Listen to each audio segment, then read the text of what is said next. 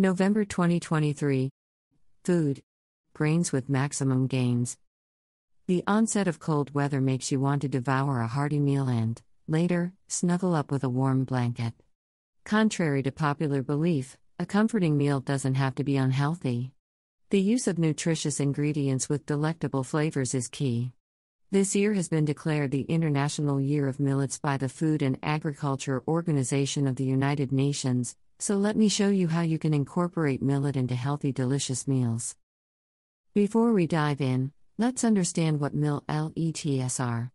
They are seeds that have been grown since ancient times and have similar taste, structure, and proper ties as grains. Due to their high fiber and protein content, they do not spike blood sugar levels. Rich in numerous vitamins and minerals, they are a good source of nutrients. Another wonderful aspect of millets is that they require much less water to grow than conventional grains, making them a sustainable alternative. Our country grows a variety of millets. Below are some popular ones you can try sorghum millet, jowar.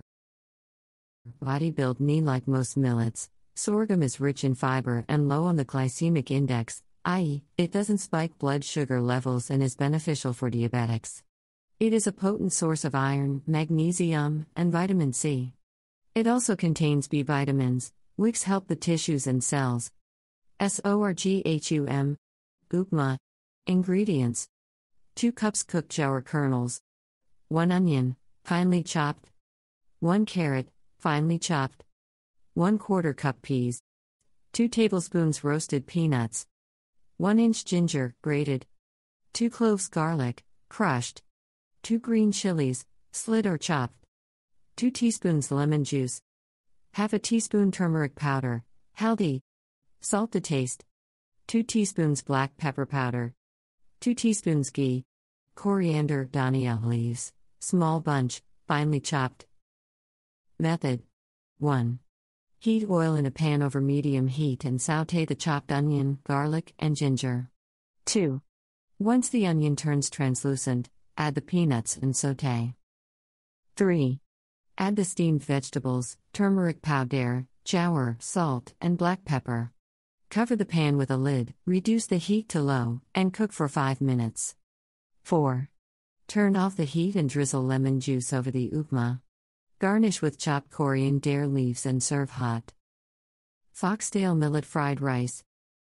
Ingredients 2 cups cooked foxtail millet, half cup French beans, finely chopped, half cup green bell pepper, finely chopped, half cup carrots, finely chopped, 1 celery, finely chopped, 1 cup spring onion, chopped, 1 inch ginger, grated, 4 spring onions, finely chopped, 1 teaspoon soy sauce, 1 teaspoon black pepper powder, oil.